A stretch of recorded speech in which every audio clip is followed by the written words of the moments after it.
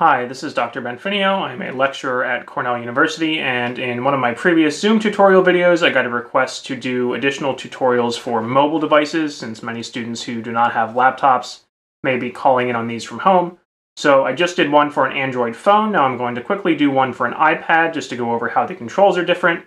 And rather than using screen recording software, I've just aimed my camera at my physical iPad here so you can easily see what I'm doing with the touch controls. So when I've joined the meeting, I'm in speaker mode here. Mr. Moose is the host, so I'm seeing a large picture of him and my thumbnail down in the bottom right. You'll notice that there were no controls on the screen. You need to tap the screen to bring the menu up, and it will automatically collapse again after a certain period of time. I'm going to briefly unmute my own video so you can see me. I'm kind of sitting behind a camera here, so I'm going to keep that turned off for now.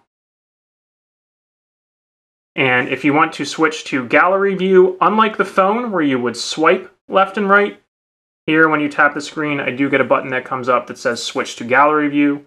So when I push that, I can see thumbnails of everybody. If I want to switch back to the teacher view, I click on speaker view.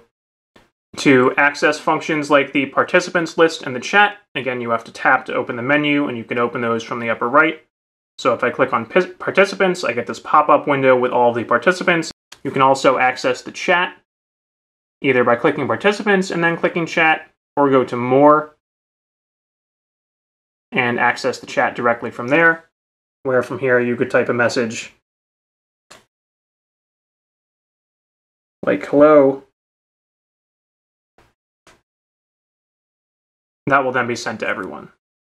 And notice that tapping away from the chat window does not exit or get rid of it. You have to tap close in the upper left to close the chat again.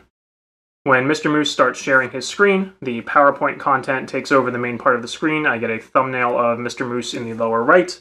I can tap on him to swap those, tap on the PowerPoint again to switch them back. If I want to see everyone, I can expand this by hitting the little plus sign. This gives me a list of all the thumbnails at the bottom. I can swipe left and right to see everybody. If I want to collapse that, I can hit the minus sign Notice how that actually collapsed them completely. It didn't take me back to just the one thumbnail of Mr. Moose. If I want to get that back, I hit the little video camera in the bottom right. That brings me back to the single thumbnail. So hopefully that was a useful overview. I'd say the main disadvantage of using either a phone or a tablet is definitely that it is harder to have multiple things open at once. For example, if I want to open the chat window, then that is going to take up most of my screen and I can't easily see the slides.